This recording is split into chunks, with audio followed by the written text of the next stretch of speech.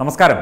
കാശി വിശ്വനാഥൻ കുടികൊള്ളുന്നത് ഓരോ ഭാരതീയന്റെയും ലോകത്തെ ഓരോ മണ്ടരികളുടെയും പുൽക്കൊടികളുടെയും ഹൃദയത്തിലാണ്. അദ്ദേഹത്തിന്റെ ആ മഹാക്ഷേത്രം.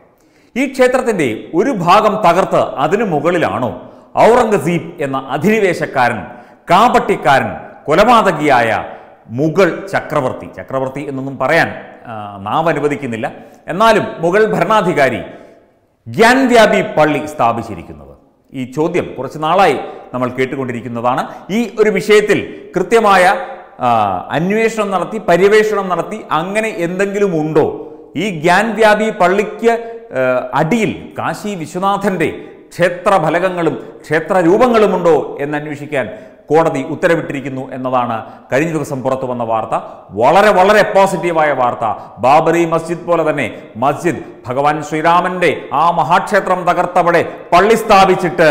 അത് പള്ളിയാണ് പള്ളിയാണ് എന്ന് പറഞ്ഞുകൊണ്ട് നാടൊട്ടുക്ക് പറഞ്ഞു നടന്നിട്ട് ഒരു കാര്യവുമില്ല. ഇതാ ഔറംഗസേബിന്റെ കൊലച്ചതി പുറത്തു വരും. ചരിത്രം തെളിയിക്കും ശാസ്ത്രം തെളിയിക്കും. ശാസ്ത്രീയമായ അന്വേഷണത്തിനാണ് കോടതി ഉത്തരവിട്ടിരിക്കുന്നത്. Indian council for historical research എന്ന ഇന്ത്യയിലെ ഇന്ത്യയിലെ തന്നെ ലോകത്തിലെ തന്നെ ഏറ്റവും വലിയ ചരിത്ര ഗവേഷണ സംഘടന അതിവിദഗ്ധന്മാരടങ്ങുന്ന ആ സംഘടനയാണ് ആ ഏജൻസിയാണ് ഇതുമായി ബന്ധപ്പെട്ട പരിശോധനകളും കാര്യങ്ങളും ഒക്കെ നടത്തുന്നത് എന്നാണ് പുറത്തു വരുന്ന വിവരം. ഈ ഒരു വിഷയം ഇപ്പം കോടതിയുടെ പരിഗണനയിൽ ഇരിക്കുന്ന വിഷയമായതുകൊണ്ട് ഇതിന്റെ മറ്റ് കാര്യങ്ങളൊക്കെ തന്നെ നമുക്ക് ഈ പര്യവേഷണവും മറ്റും കഴിഞ്ഞതിന് ശേഷമേ പറയാൻ പറ്റുകയുള്ളൂ എന്നാണ് മനസ്സിലാകുന്നത്. എന്തൊക്കെയായാലും ശരി ആയിരത്തി അറുന്നൂറ്റി അറുപത്തിനാലിൽ ഈ ഔറംഗസേബ് എന്ന് പറയുന്ന ഈ അധിനിവേശക്കാരൻ ഇവിടെ കാശി വിശ്വനാഥന്റെ ക്ഷേത്രം മഹാക്ഷേത്രം തകർത്താണോ ഈ പള്ളി സ്ഥാപിച്ചത് എന്ന ഓരോ ഭാരതീയന്റെയും ചോദ്യത്തിന് ഉടൻ തന്നെ ഉത്തരം കിട്ടും എന്നാണ് മനസ്സിലാകുന്നത്. എന്തൊക്കെയായാലും ശരി വളരെ നല്ല കാര്യം. കോടതിയുടെ ഉത്തരവ് പ്രകാരം പുരാവസ്തു വകുപ്പിലെ അഞ്ചംഗ സംഘം ക്യാമ്പസ് മുഴുവൻ കുഴിച്ചു കണ്ടെത്തിയ തെളിവുകൾ പഠിക്കുകയും ജ്ഞാൻവ്യാപി സമുച്ചയത്തിനു താഴെയുള്ള നിലത്ത് ക്ഷേത്രത്തിന്റെ അവശിഷ്ടങ്ങൾ ഉണ്ടോ എന്ന് പരിശോധിക്കുകയും ചെയ്യും. മോസ്കിന്റെ ഭൂമി ഹിന്ദു സമൂഹത്തിന് തിരികെ നൽകണം എന്ന വി എസ് റസ്തോഗി എന്ന അഭിഭാഷകന്റെ പരാതിയിലാണ് ഇപ്പോൾ കോടതി നടപടി സ്വീകരിച്ചിരിക്കുന്നത്. മുഗൾ രാജവംശകാലത്ത് രണ്ടായിരം വർഷം പഴക്കമുള്ള കാശി വിശ്വനാഥ ക്ഷേത്രത്തിന്റെ ഒരു ഭാഗം തകർത്താണ് ഗ്യാൻവ്യാപി പള്ളി നിർമ്മിച്ചത് എന്നാണ് ഈ അഭിഭാഷകൻ വാദിക്കുന്നത്. അദ്ദേഹം അതിന്റെ ചരിത്രവും മറ്റു കാര്യങ്ങളും ഒക്കെ പഠിച്ച ശേഷമാണ്. അതുപോലെ തന്നെ മധുരയിലെ കാര്യവും. മധുരയിലും ഇതുപോലെ തന്നെ സമാനമായ വിഷയം. ഈ ഗ്യാൻവ്യാപി കഴിഞ്ഞാൽ കാശി വിശ്വനാഥൻ കഴിഞ്ഞാൽ അടുത്തത് മധുരയിലേക്കാണ് പോകുന്നത്. ആദ്യം അയോധ്യ ഇതാ കാശി അത് അതിനുശേഷം മധുരയിലേക്ക് കൂടി പോകുന്നു. അതായത് ഇവിടെ യുഗങ്ങളായി നിന്നിരുന്ന ക്ഷേത്രങ്ങൾ മഹാക്ഷേത്രങ്ങൾ തകർത്ത് ഇന്ത്യയിലെ അധിനിവേശക്കാർ മുഗളന്മാർ കാണിച്ചുകൂട്ടിയ പള്ളിപണിയിലും അവരുടെ പണിയുമൊന്നും ഇനി ഇവിടെ നടക്കില്ല എന്ന ഉറപ്പ് നൽകിക്കൊണ്ടാണ് ഈ ഇത്തരത്തിലുള്ള നടപടികൾ ഉണ്ടാകുന്നത്. തികച്ചും നിയമപരമായി തന്നെ ഉള്ള നടപടികൾ ഉണ്ടാകുന്നത് തർക്കഭൂമിയായിരിക്കാം. പക്ഷേ അതിന് വേണ്ട രീതിയിലുള്ള ശാസ്ത്രീയമായ കാര്യങ്ങൾ കണ്ടെത്തി മുമ്പോട്ട് പോകാനാണ് ഐ സി എച്ച് ആറിന് ഇപ്പോൾ കോടതി നിർദ്ദേശം ലഭിച്ചിരിക്കുന്നത്. ഐ സി എച്ച് ആറിൽ അംഗവും അതുപോലെ തന്നെ പ്രമുഖ ചരിത്ര ഗവേഷകനും പണ്ഡിതനും Kottayam C M S college ചരിത്ര വിഭാഗം മേധാവി മഹാത്മാഗാന്ധി സർവകലാശാലയിലെ ചരിത്ര വിഭാഗം മേധാവി ഒക്കെയായ ഡോക്ടർ സി ഐ ഐസക്. അദ്ദേഹം ഈ ഒരു പാനലിൽ അംഗമാണ്.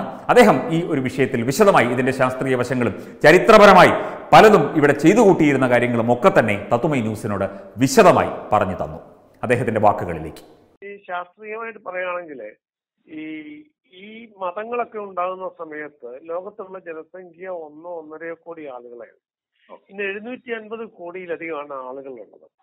ഈ ഇന്ന് അവരുടെ ഈ ഈ കടന്നുകയറ്റത്തിൽ ഹാദിയ സോഫിയ ഉൾപ്പെടെയുള്ള കടന്നുകയറ്റത്തിൽ മറ്റുള്ള മതസ്ഥരുടെ ആരാധനാലയങ്ങളും അവരുടെ മൂർത്തികളെയും ഒക്കെ പിന്നെ അതിക്രമിച്ച് ഇവരുടെ കൈവശപ്പെടുത്തുകയും ഇവർ ഇവരുടേതാക്കി മാറ്റുകയും ചെയ്യുന്ന ഒരു സ്വഭാവമുണ്ട്. അതുകൊണ്ടാണ് ലോകത്തിൽ ഇന്നത്തെ പ്രശ്നങ്ങൾക്ക് മുഴുവൻ കാരണം. ഇസ്രയേലിന്റെ പ്രശ്നം പോലും ആണെങ്കിൽ അവരുടെ ടെമ്പിൾ അവരുടെ ക്ഷേത്രം സോളമന്റെ ക്ഷേത്രത്തിനാണ് പ്രശ്നം. ആ അത് സെറ്റിൽ ചെയ്ത് കഴിഞ്ഞാൽ പ്രശ്നങ്ങളൊക്കെ തീരും. ഇവിടെ ഇത് തന്നെയാണ് സംഭവിച്ചത്.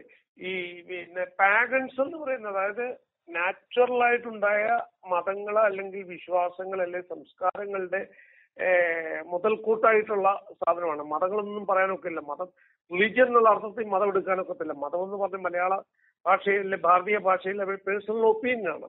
അപ്പൊ അവന്റെ വിശ്വാസങ്ങളെയൊക്കെ കടന്നാക്രമിക്കുകയും അത് നശിപ്പിക്കുകയും ചെയ്യുന്നത് ഒരു വിഭാഗം സെമറ്റിക് മതങ്ങളുടെ ഒരു ഒരു എന്താണ് ഒരു ശീലമായി മാറിയിരിക്കുകയാണ്. അതിന്റെ ഭാഗമായിട്ടാണ് ഭാരതത്തിൽ വന്നത് ആവശ്യമില്ലാതെ പ്രശ്നങ്ങൾ ഉണ്ടാകുന്നതാണ്.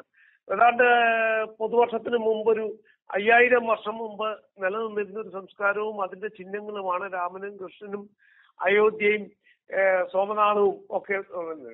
ഭാരതം സ്വതന്ത്രമായപ്പോൾ നമ്മളൊരു വലിയ പാണിച്ച കാണിച്ചു. അന്ന് പട്ടേൽ പോയി സോമനാഥ ക്ഷേത്രം കൈവശപ്പെടുത്തി അവിടുത്തെ മോസ്ക് പൊളിച്ചു കളഞ്ഞ് അവിടെ സോമനാഥ ക്ഷേത്രം പണിതത് കൊണ്ട് ഇന്ന് പ്രശ്നങ്ങളില്ലാതിരുന്നു അയോധ്യയിലും ഇത് ചെയ്യാമായിരുന്നു മധുരയിലും ഇത് ചെയ്യായിരുന്നു കാശിയിലും ഇത് ചെയ്തു.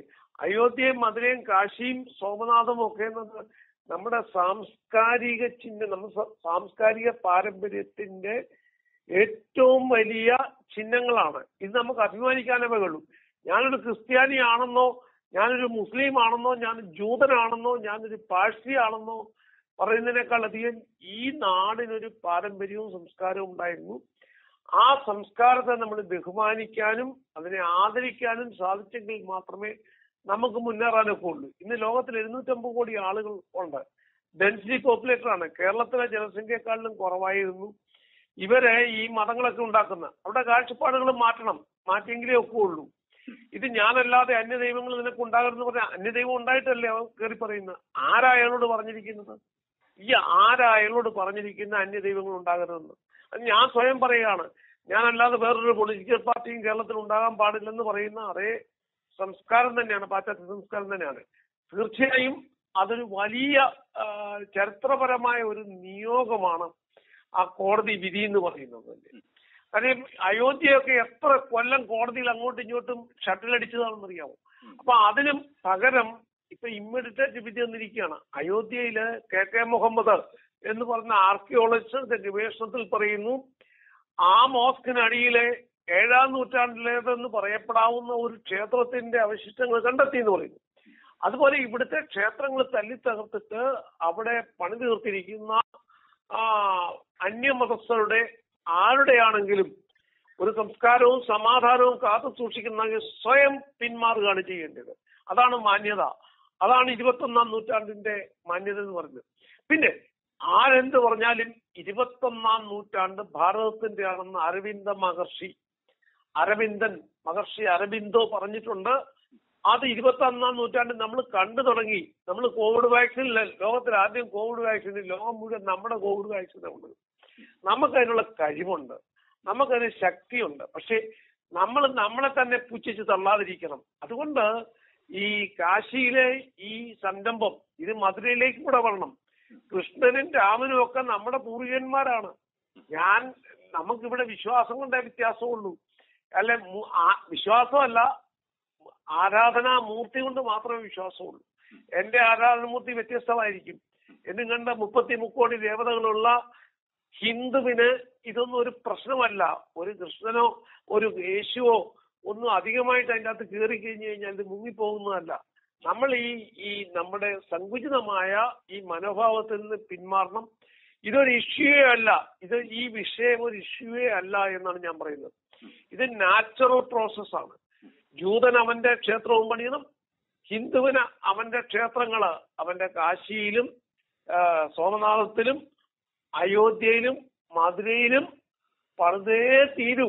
അത് പണിതേ തീരൂ. എങ്കിൽ മാത്രമേ ചരിത്രപരമായി എന്താണ് ആ ഒരു ഒരു ഒരു ഒരു ചരിത്രപരമായ ഒരു ഇതിൽ ചരിത്രപരമായ ഒരു ആവശ്യം നിറവേറ്റപ്പെടുകയുള്ളൂ. എങ്കിൽ മാത്രമേ സംസ്കാരം പൂർണമാകുകയുള്ളൂ. അതുകൊണ്ട് ഇത് തീർച്ചയായും ഇത് വളരെ പ്രധാനപ്പെട്ടതും എന്ത് എന്ത് പറയുന്ന ഏറ്റവും പുരോഗമനപരമായ ഒരു വിധിയായ ഞാൻ ഇതിനെ കണക്കാക്കുന്നുള്ളൂ. തീർച്ചയായിട്ടും അദ്ദേഹത്തിന് ഇതൊരു നിയോഗം തന്നെയാണ്. തീർച്ചയായും അദ്ദേഹം വളരെ സന്തുഷ്ടനാണ്. ആ ഈ ഒരു ചരിത്ര നിയോഗത്തിന്റെ ഭാഗമാകാൻ കഴിഞ്ഞതിൽ അദ്ദേഹം കൃതാർത്ഥനാണ്. മാത്രമല്ല വിവിധ പരിശോധനകൾ ഇപ്പോൾ നടക്കുകയാണ്. ഇതുമായി ബന്ധപ്പെട്ട് ഈ ഗ്യാൻവ്യാപി പള്ളിയുടെ കെട്ടിടങ്ങൾ കാശി വിശ്വനാഥ ക്ഷേത്രത്തിന്റെ ഘടനയുടെ ഭാഗമായി അതോട് ചേർത്ത് നിർമ്മിച്ചതാണോ എന്നതടക്കമുള്ള വിഷയങ്ങൾ ആ കല്ലുകളുടെയും അതുപോലെ ശിലാഫലകങ്ങളുടെയും ഒക്കെ കാലം അതിന്റെ കൃത്യമായ പ്രായം ഒക്കെ പരിശോധിച്ച് ചരിത്രപരമായി തന്നെ ഈ കാശി വിശ്വനാഥ ക്ഷേത്രത്തിന്റെ ഭാഗം ആയിട്ട് ഇപ്പോൾ ഈ മോസ്കിന്റെ അടിയിൽ എന്തൊക്കെയോ നിർമ്മിതികളുണ്ട് എന്ന തരത്തിലുള്ള ചില ശാസ്ത്രീയമായ നിഗമനങ്ങൾ പുറത്തു വന്നിരുന്നത് ഏറ്റവും അത്യന്താധുനിക ഉപകരണങ്ങളും അത്യന്താധുനിക കണക്കുകളും ഉപയോഗിച്ചാണ് ഇതൊക്കെ പരിശോധിക്കുന്നത്. ഗ്യാൻ വ്യാപി കഴിഞ്ഞാൽ അടുത്തത് മധുരയാണ്. ശ്രീകൃഷ്ണൻ ഓടിക്കളിച്ച് നടന്ന മധുര. ഈ മധുരയിലും ഇതുപോലെ തന്നെ ആ ക്ഷേത്രം ആ ഭഗവാന്റെ ക്ഷേത്രം പൊളിച്ച് അവിടെയും പണിതിട്ടുണ്ട് ഒരു പള്ളി. അപ്പോൾ ഈ പള്ളികൾ ഇങ്ങനെ മുസ്ലിം പള്ളികൾ ഇങ്ങനെ ഇങ്ങനെ ഉയർന്നു വന്നിട്ട് അതിനെയൊക്കെ ചരിത്ര സ്മാരകമാക്കി മാറ്റിയൊക്കെയാണ് നമ്മൾ ചരിത്രം പഠിച്ചത്. പക്ഷേ യഥാർത്ഥ ചരിത്രം അതൊന്നുമല്ല. ഇവിടെ കാശി വിശ്വനാഥന്റെയും ഭഗവാൻ ശ്രീകൃഷ്ണന്റെയും ഭഗവാൻ ശ്രീരാമന്റെയും ഒക്കെ ക്ഷേത്രങ്ങളാണ് യഥാർത്ഥ ചരിത്ര സംഭവങ്ങൾ ചരിത്ര നിർമ്മിതികൾ എന്നുള്ളതിലേക്കാണ് ഇപ്പോൾ ഈ കാര്യങ്ങളൊക്കെ തന്നെ ശാസ്ത്രീയമായി എത്തിക്കൊണ്ടിരിക്കുന്നത്. Web desk Tatwamayi news.